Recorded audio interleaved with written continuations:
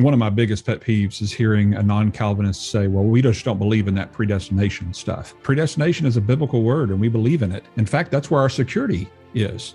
I know that I'm going to heaven because God is predestined for believers to go to heaven. So you have to ask the question who has been predestined to what?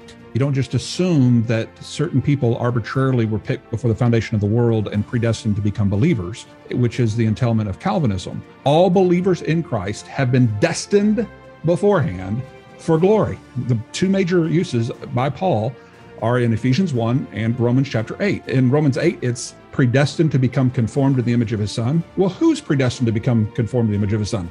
Believers are. Uh, and, and in uh, Ephesians, what are they predestined to? To become holy and blameless.